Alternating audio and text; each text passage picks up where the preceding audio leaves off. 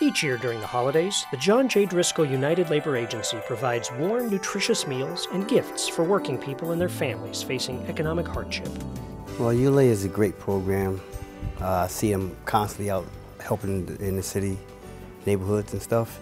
And it's a great benefit for my aunt since they retired and it helps them get through the hard times and, and um, year by year. We want to take care of our neighborhood.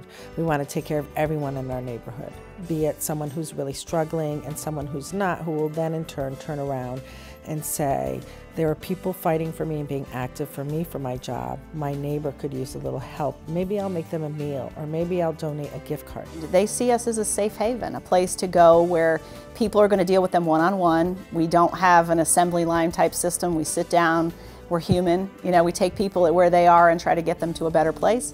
Um, and, and we work with them over time. It's not just come in and you're gone. It's, it, it becomes a relationship where we become like family. The holiday food and toy drives are just two of numerous efforts that the ULA coordinates year round to help working people in their time of greatest need. We provide all kinds of rounded services for individuals, be it food, counseling, work assistance, whatever. We're there for anybody who walks in the door in any way that we can be folks are just struggling, joblessness, um, you know, children in homes with joblessness through no fault of their own, um, who are going hungry every day. It's a good program, and I encourage people to, to donate, to help, even just put their time in to come around and, and greet the people. Be a community champion. Support the United Labor Agency today. Be a community champion.